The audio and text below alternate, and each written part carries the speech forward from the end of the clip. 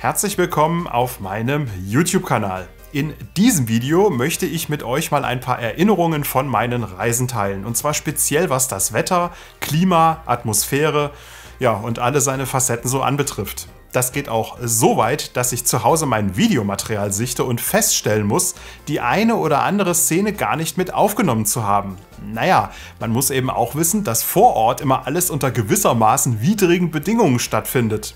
In Australien und Namibia hatte ich bis zu 45 Grad Hitze. In den Tropen kommt die extreme Luftfeuchtigkeit dazu. Dann ist alles tagsüber auch alles gleißend hell. Das heißt, manchmal erkennt man auch kaum was auf dem Display der Kamera. Und dann gerät man auch mal in eine heftige Regenschauer und alles ist auch noch klatschnass. Nicht zu vergessen die steifen Winde, die ich besonders in Patagonien erlebt habe. Manchmal muss man vor Ort auch einfach umplanen, das Besichtigungsprogramm zweier Tage tauschen und etwas zickzack fahren. Kurzum, das Wetter mit all seinen Auswüchsen gehört auf einer Reise auf jeden Fall dazu und hat schon so manchen Plan geändert. Bevor ich euch jetzt aber meine Wetterkapriolen erzähle, vielleicht erstmal vorweg. Normalerweise stehen auf meinem Kanal ja große Reisedokumentarfilme im Vordergrund. Aber es gibt eben auch viele Randthemen, was das Reisen betrifft. Wenn ihr also Bock auf Reisen habt, seid ihr hier genau richtig und abonniert gerne meinen Kanal. Vergesst auch nicht diese kleine Glocke mit anzuklicken, denn ja, dann bekommt ihr eine Benachrichtigung, wenn ich mal wieder einen neuen Reisedokumentarfilm oder wie in diesem Fall Erinnerungen, Erlebnisse auf meinen Kanal hochgeladen habe. Also, los geht's mit der ersten Story aus Asien. Die erste Story führt uns in die chinesische Sonderverwaltungszone Hongkong. Da habe ich ja gleich ein paar Tage verbracht. Zeitlich war ich Mitte August dort gewesen, also zum Hochsommer. Das Klima zu dieser Jahreszeit ist ausgesprochen schwül, die Luft förmlich getränkt mit Feuchtigkeit.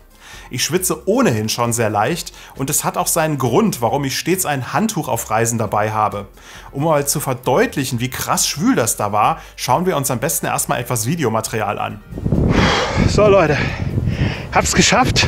Vielleicht etwas abgeschwitzt. Wow, krass. Ein Handtuch ist immer eine gute Sache, ob zum Auspolstern der Kameratechnik im Rucksack oder auch einfach sich mal um den Schweiß von der Stirn zu wischen. Ich bin jetzt auf dem Victoria Peak angekommen und kann eigentlich gerade kaum reden. Deswegen kommt der Rest jetzt gerade mal aus dem Off. Ja, das war schon mächtig anstrengend. Und ihr seht, wie universell doch ein Handtuch auf einer Reise sein kann. Ob zur Auspolsterung oder auch als Sonnenschutz eingeklemmt in der Fensterscheibe im Auto. In Hongkong diente es mir natürlich mehr dazu, einfach den Schweiß vom Gesicht zu wischen. Und wer jetzt fragt, warum das überhaupt so anstrengend da hoch war, naja, mit der Peak Tram kommt man zwar recht einfach auf den Berg hinauf, zum eigentlichen Victoria Peak muss man aber noch ein ganzes Stück weiter den Berg hinauflaufen. In der Mittagshitze ist das schon ganz schön anstrengend. Ja, dafür wird man natürlich auch mit besonderen Ausblicken belohnt. Und vor allem ist man dort auch relativ alleine. Das Ganze im Gegensatz zu dem kommerziellen Aussichtsdeck an der Endhaltestelle der Peak Tram. Also Leute, Handtuch nicht vergessen. Wir bleiben in Asien und kommen zu meiner Anreise nach Thailand, genauer zum Frankfurter Flughafen. Da hat das Wetter auch ordentlich mitgemischt, allerdings schon hier in Deutschland. Leider habe ich zu diesem Punkt hier keine Bilder mehr, wohl aber ein paar Erinnerungen. Zu Hause war schon alles gepackt und es war mitten im deutschen Sommer. Besser gesagt, im deutschen Hochsommer. Kurz vor Abreise setzte hier aber zu Hause ein deftiger Starkregen ein. Und wenn man schon auf heißen Kohlen sitzt und hofft, dass das Taxi zum Bahnhof trotz des starken Niederschlags pünktlich kommt, hätte der Taximann sich eigentlich sogar noch etwas Zeit lassen können. Der Zug hatte ohnehin 25 Minuten Verspätung. Endlich war ich dann aber trotz des strömenden Regens irgendwann mal in Frankfurt angekommen und wollte nun vom Bahnhof zum Flughafen fahren. Doch zu allem Überfluss war auch noch die S-Bahn restlos überfüllt. Denn wenn ich mich recht entsinne, lief gerade das WM-Fußballspiel Deutschland-Argentinien und mit den öffentlichen Verkehrsmitteln war kein Durchkommen Richtung Frankfurter Waldstadion. Ich bin dann letztendlich mit dem Taxi zum Flughafen gefahren. Na gut. Ach ja, ich glaube, wir bleiben noch ein bisschen in Asien, denn da habe ich glatt noch ein bisschen mehr auf der Pfanne, wie ich gerade feststelle. Wir sind nämlich in dieser Story jetzt gerade mitten in Kuala Lumpur in Malaysia. Und von wo kann man wohl am besten einen Blick auf die Stadt werfen? Naja, richtig, vom Fernsehturm Menara Kuala Lumpur. Das hat nämlich auch den Charme, dass man die beiden Petronas Towers mit aufs Bild bekommt. Allerdings hatte bei meiner Anwesenheit das Wetter auch einmal wieder mitgespielt. Schon als ich auf dem Observation Deck war, zogen dicke Wolken auf und trübten die Sicht ein. Dabei war noch am Morgen bestes Sonnenwetter gewesen. Aber dass über den Tag hinweg das Wetter ja, sich schnell umschlagen kann und ändern kann, das kennt der ein oder andere sicherlich aus den Tropen wohl nur zu gut. Als ich ähm, dann allerdings wieder unten angekommen war, ging erstmal wirklich die Mutter aller Regenfälle vom Himmel hernieder. Ja, jetzt war ich gerade auf diesem wunderschönen KL-Tower. Ich befinde mich jetzt immer noch am Fuße davon. Und jetzt regnet es erstmal ganz kräftig und ich habe natürlich wieder mal keinen Regenschirm dabei. Das heißt, dabei haben schon aber im Hotel vergessen. Anfängerfehler. Glaube, wenn ich jetzt durch den Regen laufe, dann äh, brauche ich heute Abend nicht mehr duschen. So ist das halt nahe des Äquators in den Tropen. Das ist die Mutter aller Regenfälle. Die Pflanzen sind ja wirklich nichts gewöhnt. Ne? Da regnet mal so ein bisschen und dann kracht hier gleich alles von den äh, Bäumen und was weiß ich nicht alles runter. Da oben liegt auch noch irgendwie so ein etwas größerer Zweig, wo ich schon drüber steigen musste. So, die Frage ist, äh, wie komme ich denn jetzt wieder ins Hotel? Ich glaube, morgen nehme ich einen Schirm mit. Diese mit Wasser vollgelaufene Lampe ist sicherlich auch sehr fachmännisch äh, betriebsbereit. Das Gute ist auf jeden Fall immer, dass diese Starkregenfälle in den Tropen meist nicht den gesamten Tag andauern, sondern nur eine Sache von vielleicht einer Stunde sind. Ich konnte also meine Stadtbesichtigung in der Folge problemlos fortsetzen. Wir springen mal nach Taiwan. Ja, mein Taiwan-Trip. Dort hatte ich durchweg Glück mit dem Wetter, allerdings wurde es zum Schluss der Reise auch echt Zeit, das Land zu verlassen. Ich erinnere mich noch abends im äh, ja, letzten Hotel gewesen zu sein, als ich just for fun mal den Fernseher eingeschaltet habe. Äh, ich gucke hier gerade noch mal kurz Fernsehen. Vielleicht ist es jetzt auch echt an der Zeit, das Land zu verlassen. Weil es könnte sein, dass da so ein Taifun irgendwie auf Taiwan zukommt. Ugh.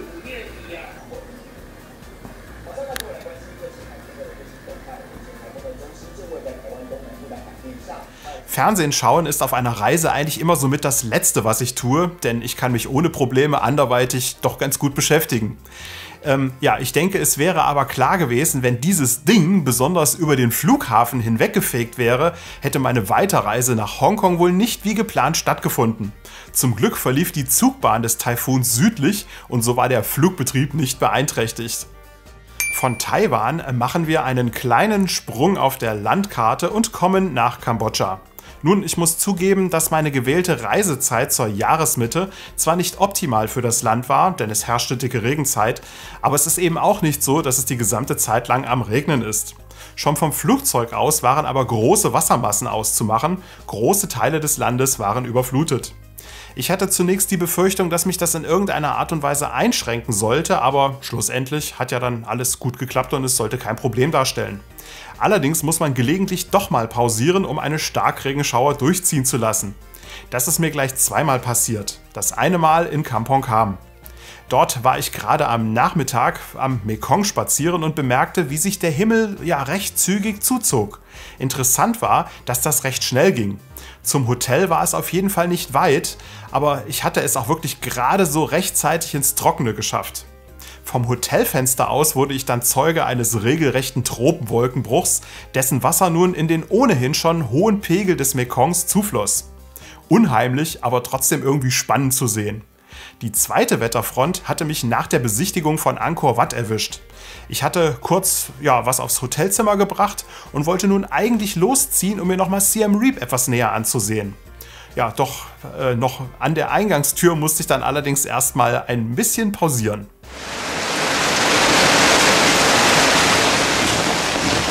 So, jetzt bin ich gerade wieder beim Hotel angekommen und wollte mir eigentlich noch mal ganz kurz Siam Reef selber ansehen, aber ich glaube, ich muss noch mal einen kleinen Moment pausieren, denn hier kommt gerade die Mutter aller Regenfälle runter.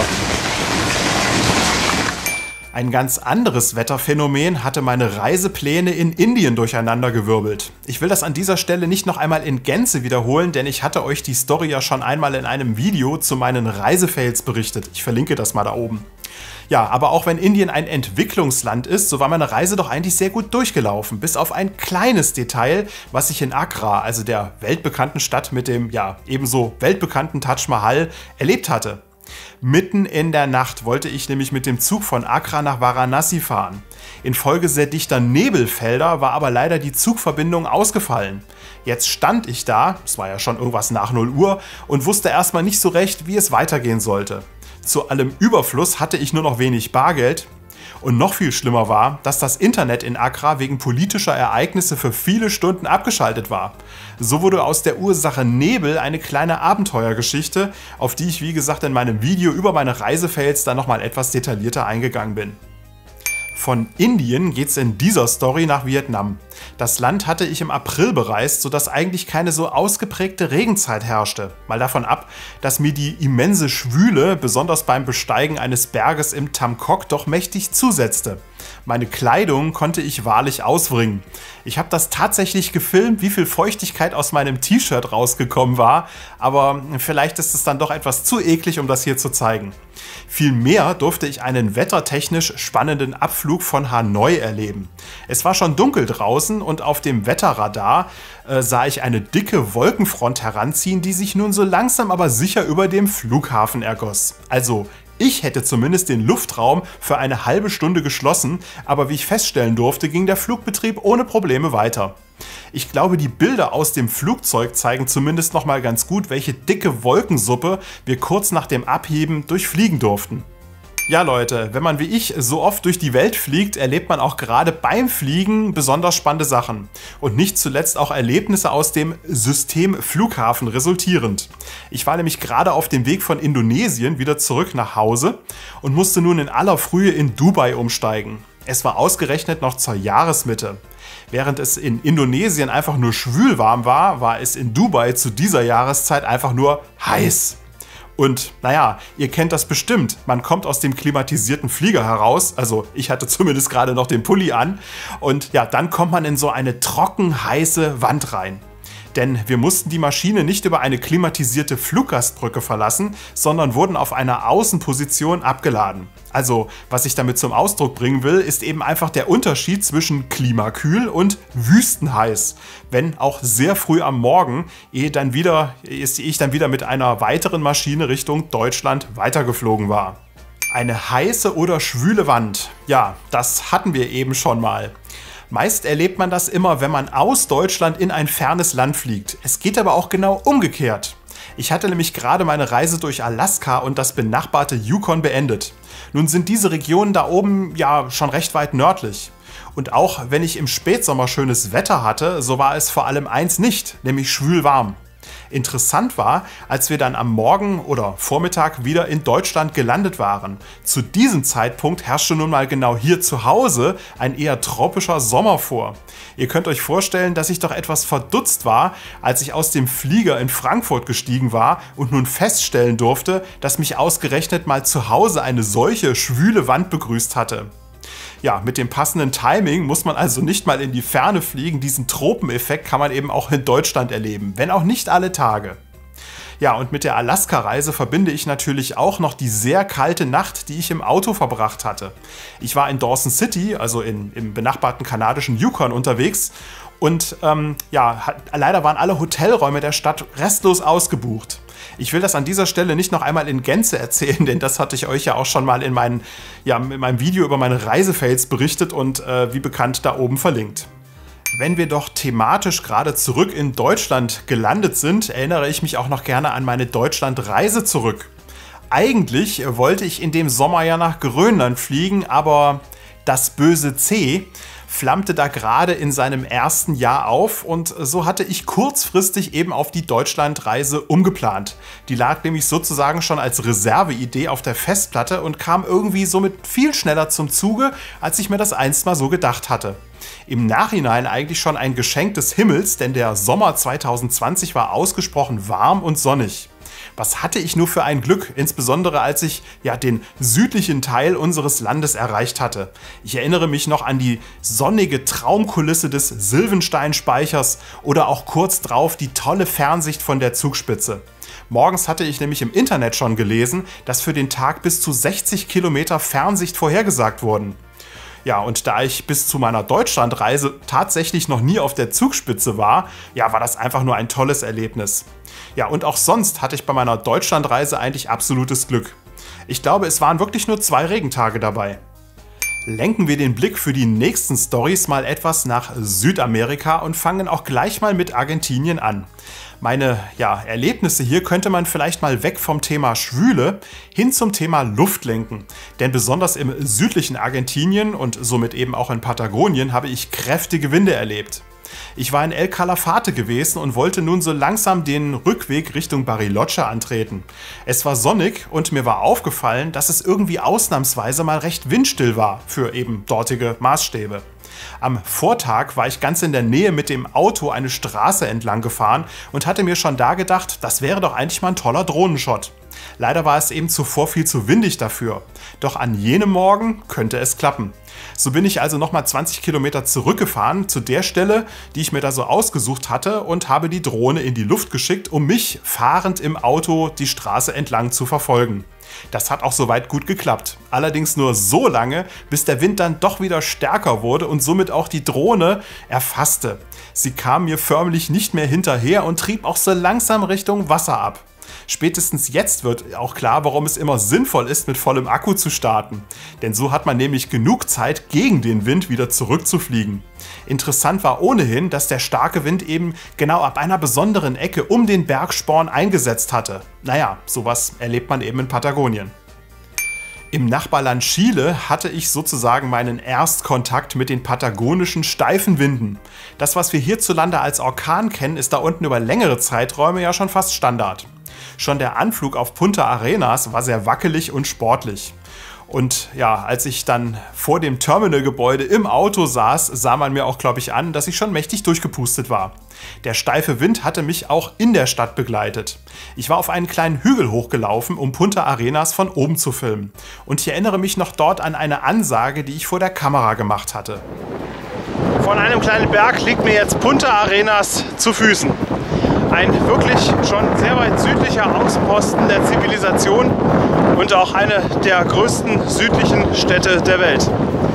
Danach kommt eigentlich nur noch so richtig Ushuaia mit Stadtrechten, obwohl es da noch kleinere Siedlungen gibt. Naja, zumindest es ist sehr windig, immer noch, auch wenn die Sonne scheint.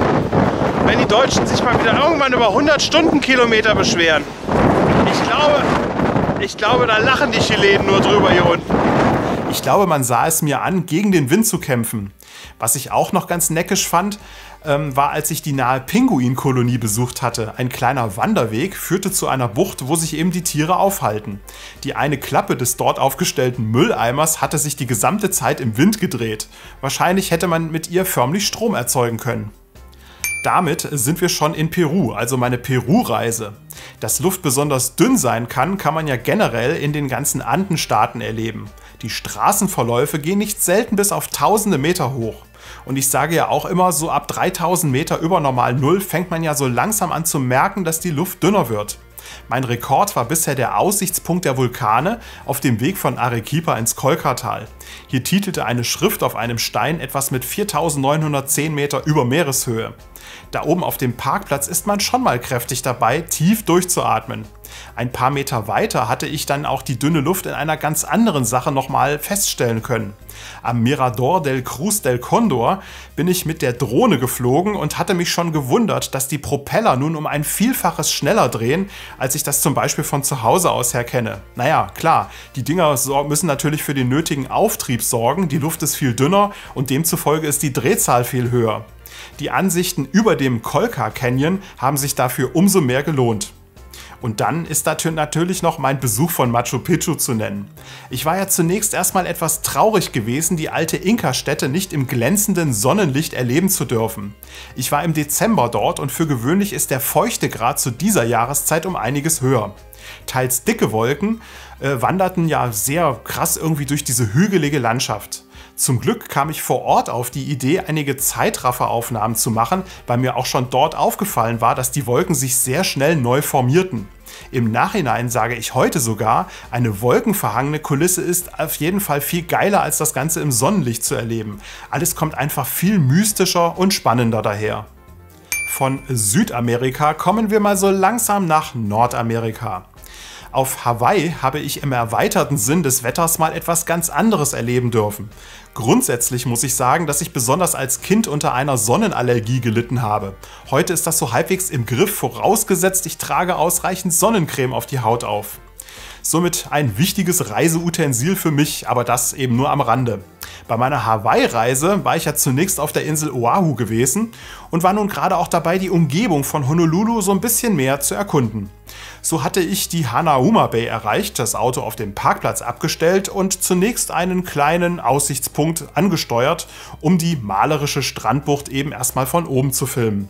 Das Ganze war vielleicht nur eine Aktion von 15 Minuten. Aber äh, in dieser, wie ich finde, sehr kurzen Zeitspanne habe ich gemerkt, wie sich meine Haut mit Sonnensturz wohlgemerkt plötzlich krebsrot verfärbte. Der ein oder andere mag sich also in meinem Hawaii-Film vielleicht auch die Frage gestellt haben, warum Szenen eben von unten in der Bucht gefehlt haben. Naja, das lag einfach eben daran, dass ich unmittelbar wieder ins Auto zurück bin, weil die UV-Strahlung an diesem Ort wohl offensichtlich einfach zu hoch war.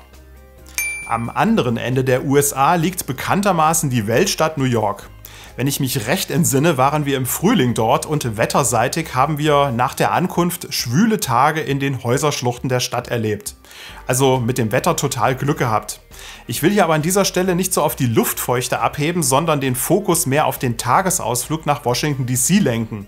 Wir waren ja mit dem Zug hingefahren und ausgerechnet an dem Tag lag eine Schlechtwetterfront über dem Regierungssitz der Vereinigten Staaten von Amerika. Sehr schade. Es war alles wolkenverhangen und somit erhielt ich nur triste Bilder für meinen Film und am Nachmittag setzte auch noch Dauerregen ein. Nun waren die Züge für den Tag natürlich schon gebucht und wie so oft auf Reisen muss man dann einfach das Beste aus dem Wetter machen. Vor Ort sah das Ganze dann so aus. Jetzt ist es 12.12 Uhr, wir stehen hier vor einem wichtigen Wahrzeichen von Washington DC, das Kapitol. Das Problem ist bloß, das Wetter war die ganze Zeit toll, wirklich im Urlaub, es war immer geil eigentlich. Und was passiert in Washington? Es regnet. Also das war's jetzt mit dem Kapitol, ihr seht jetzt nichts mehr. Irgendwie waren wir noch gar nicht in Afrika, stelle ich gerade fest. Das wollen wir mit Erlebnissen von meiner Namibia-Reise doch gleich mal nachholen. Denn in Namibia habe ich wohl wetterseitig das beste Abendrot erlebt, was man ebenso erleben kann. Ich war in der Bagatelle Game Ranch gewesen und am Nachmittag zog zunächst eine große Gewitterwolke nebenan von Botswana herüber. So schnell kann sich das Wetter ändern. Namibia zeigt mir jetzt gerade sein anderes Gesicht im Dezember. Ähm, eben haben wir gerade noch in der Ferne die Blitze zucken sehen. Der ganze Kram kommt jetzt hierher. Zunächst sehr ärgerlich, denn ich hatte mir extra ein teures Dünenchalet gemietet, in der Hoffnung, hier einen tollen Sonnenuntergang erleben zu dürfen. Am Nachmittag fegten aber erstmal Blitze und förmlich Wasserstürme über die Kalahari.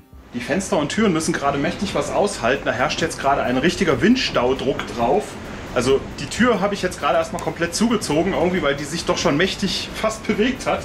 Und diese ganze Bude ist auch total am Wackeln. Also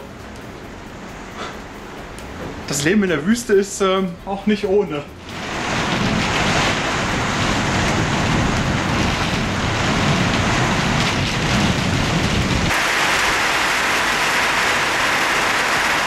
Tja, wie wir sehen, bekommt der heutige Tag eine gewisse Action-Komponente. Ich hätte ehrlich gesagt alles gedacht, aber eine so starke Regenschauer hier in dieser Gegend, ich muss sagen, ich bin wirklich überrascht. So viel Wasser in der Wüste? Naja, das geht in Namibia im Dezember durchaus auch. Wie durch ein Wunder zogen die Wolken kurz vor Sonnenuntergang aber so langsam ab und färbten die Landschaft in eine feierliche Abendstimmung. Dazu diese leichten Sandverwehungen, alles rötlich eingefärbt. Das war stimmungsseitig einfach nur der Hammer. Die zweite Wetterstory in Namibia ist mir an dem Tag passiert, als ich die Gegend mit dem Waterberg ansteuern wollte. Ich war auf einer geteerten Straße nördlich unterwegs, als ich merkte, in eine dicke Wolkenwand hineinzufahren. Nur kurze Zeit später war ich sozusagen mitten in einem weiteren Wolkenbruch. Vielleicht eine halbe Stunde später war der Spuk dann vorbei. Wieder ein paar Kilometer weiter wollte ich mit der Drohne nochmal einen Shot machen. Im Kofferraum des Fahrzeugs, der ja mehr so eine Art Aufsatz für die Ladefläche des Toyota Hilux war, durfte ich dann aber feststellen, dass der Regen bis ins tiefste meines Reisekoffers vorgedrungen war. Also alles klatschnass. Das Abendprogramm für die Bleibe am Waterberg stand also schon mal fest. Die Klamotten mussten irgendwie wieder trocken werden. Die Drohne hatte übrigens nichts abbekommen, die war ja in einem ja, schützenden Styroporkarton untergebracht. Speziell von der Trocknungsaktion am Waterberg habe ich aber noch ein paar unveröffentlichte Szenen gefunden, ja, die es seinerzeit eben nicht in meinen Film geschafft hatten. Also hier etwas unveröffentlichtes Material. Am Waterberg ist es in der Zwischenzeit dunkel geworden und meine Trocknungsaktion ist immer noch in vollem Gange. Die besonders nass gewordenen Teile kriege ich jetzt irgendwie wahrscheinlich bis morgen früh nur auf diese Art und Weise trocken. Wobei ich mir nicht so richtig sicher bin, ob der Deckenventilator noch lange mitmacht. Weil wenn ich da reingucke, da ist irgend so ein Funkengedöns am Berg. Ich weiß es auch nicht. Es tritt immer rhythmisch auf. Wahrscheinlich gibt es da irgendein Problem mit der Spule mit dem Motor. Zum Schluss dieses Videos kommen wir noch zur letzten verbleibenden geografischen Region, nämlich Ozeanien, also meine Australien- und Neuseeland-Reisen. Besonders von meiner Westaustralien-Reise ist mir ein heftiges Gewitter über der Straße noch in Erinnerung geblieben. Und je weiter ich an der Küste nach Norden gekommen war, desto tropischer gestaltete sich auch das Wetter. Ich glaube, es war der folgende Abend, als ich das Roadhouse von Warnham erreicht hatte und draußen eine echt heftige Regenschauer runterging. Das ist übrigens auch Australien. Zum Glück habe ich ein Roadhouse gefunden und gerade soeben mein ganzes Zeug hereingetragen. Das war eine knappe Feier, würde ich sagen. Aber diese Regenwolke hat sich schon von langer Hand angekündigt. Es gibt bloß ein Problem. Ich hoffe nicht, dass das jetzt so monsunartig regnet, dass ich hier nicht mehr wegkomme mit dem Fahrzeug. Jetzt kommt schon die zweite Gewitterschauer, die gerade heftig herniedergeht draußen. Hm, gar nicht so toll. Na gut, ist halt einfach so. Ja, der nördliche Teil von Australien ist eben auch der tropische. Und äh, wie das in den Tropen so häufig ist, ne? morgens fängt der Tag ganz schön sonnig an, alles toll, aber gegen Abend kann sich das Ganze dann nochmal ganz schnell entladen. Das sehen wir gerade draußen. Ich hatte zu diesem Zeitpunkt schon etwas Schiss, meine Reise wegen überspülter Straßen in den Folgetagen nicht wie geplant fortsetzen zu können. Ja, zumal auch genug Straßenschilder über den befahrungsfähigen Zustand am Straßenrand informierten. Aber letztendlich alles halb so wild, nur in den Gräben eben neben den Straßen staute sich das Wasser und alles weitere war offen.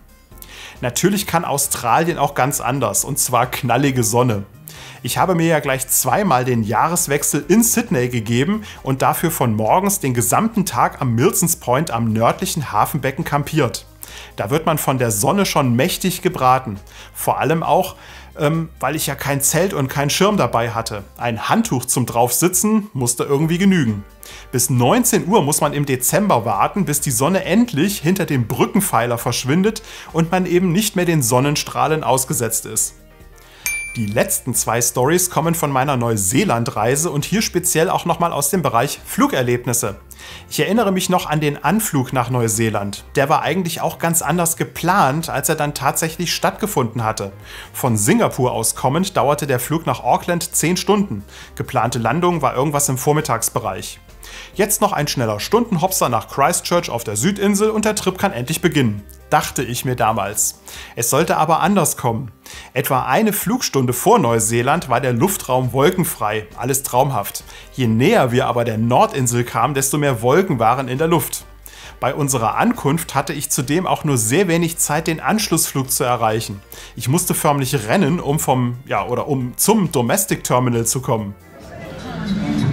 6.18 Uhr Singapur-Zeit, 11.18 Uhr Neuseeland-Zeit. Ich habe Fuß auf neuseeländischen Boden gesetzt. Ich bin jetzt hier schon gerade einmal auf dem Gelände rumgelaufen, auf dem Flughafen, vom International Terminal 700 Meter weiter zum Domestic Terminal. Von hier aus habe ich jetzt noch einen Anschlussflug runter nach Christchurch. Der geht schon wieder anderthalb Stunden. Und dann bin ich, glaube ich, richtig weit weg von zu Hause. Den Flieger habe ich bekommen und wenn ich mich recht entsinne, waren wir auch schon alle an Bord. Doch dann kam eine mächtige Wetterwand und erfasste den Flughafen. Den hat man erstmal aus Sicherheitsgründen geschlossen und wir durften wieder alle aussteigen. Der Anschlussflug wurde leider erst im, ja, in den späten Abend verschoben und noch viel später hatte ich also Christchurch erreicht. Es ist jetzt 19.16 Uhr. Um 12.50 Uhr sollte bereits die Maschine starten nach Christchurch. Das hat sie leider immer noch nicht getan, weil vorhin hier nämlich eine richtig krasse Gewitterfront drüber gezogen ist. Und äh, ja, jetzt wurde der Flug auf 21 Uhr terminiert. Das bringt natürlich meinen ganzen Zeitplan für heute alles ein bisschen durcheinander. So habe ich zum Beispiel schon bei dem Vermieter für meinen Camper angerufen und denen gesagt, dass ich heute ein bisschen später komme. Was will man machen? Wenigstens ist das Wetter heute Abend hoffentlich einigermaßen passabel, dass wir dann noch starten können. Allerdings werde ich Neuseeland dann äh, das erste Mal nicht richtig von oben sehen, sondern es wird dann wahrscheinlich schon sehr dämmerig und dunkel sein. Im Nachhinein eigentlich schade. So habe ich vor Ort einen halben Tag verloren und auch sicher nette Ansichten eines Inlandfluges in Neuseeland von oben bei Tag. Am Abend war natürlich schon alles dunkel gewesen. Also das letzte Stück hätte ich gedacht, dass das echt ein bisschen schneller geht. Aber nein, dieser Flieger hatte ewig Verspätung. Total krass. Christchurch Airport. Heftig. Ja, äh, ich werde jetzt hier hoffentlich gleich abgeholt, auch am richtigen Ort. Ähm, damit ich jetzt noch meinen Camper entgegennehmen kann. Es ist jetzt 23.30 Uhr. Ich habe mich schon eben tausendmal entschuldigt bei dem Typen, weil eigentlich wollte ich ja viel früher da sein. Der Nachhauseflug war aber nicht minder spannend. Von Auckland ging es zunächst in aller Frühe nach Sydney, dort am Nachmittag weiter nach Singapur und in der Folge mitten in der Nacht von Singapur äh, dann zurück nach Frankfurt. Als wir aber von Australien aus kommend in die Tropen vorstießen, mussten wir mächtige Gewitterwolken umfliegen. Davon habe ich leider nur wenig Videomaterial gefunden und es ist auch immer schwierig in der Dunkelheit aus dem Flugzeugfenster die Kamera dorthin zu halten, wo als nächstes ein Wolkenblitz auftauchen könnte. Immerhin eine wirklich bedrohliche Kulisse, die man aus dem Flugzeug doch irgendwie so beobachten kann. Tja, das waren im Wesentlichen meine Erlebnisse in Sachen Wetter, die mir von meinen bisherigen Reisen so in Erinnerung geblieben sind. Was habt ihr denn eigentlich schon so alles in Sachen Wetter, Klima und Atmosphäre auf euren Reisen erlebt? Schreibt es doch gerne mal in die Kommentare. Dann liegt es jetzt an euch, dem Video einen Daumen nach oben, vielleicht auch nach unten zu geben. Naja, war vielleicht ein bisschen viel Gewitter in der Luft, egal wie. Ähm, ja, auf jeden Fall möchte ich das euch überlassen. Viel wichtiger ist mir natürlich, äh, dass ihr meinen Kanal bitte abonniert und vergesst natürlich auch nicht diese diese kleine Glocke mit anzuklicken, damit ihr künftig keine neuen Videos mehr verpasst, wenn ich mal wieder einen neuen Film auf meinen Kanal hochgeladen habe. Ja, in diesem Sinne vielen Dank fürs Zuschauen und viele Grüße aus irgendeinem fernen Land.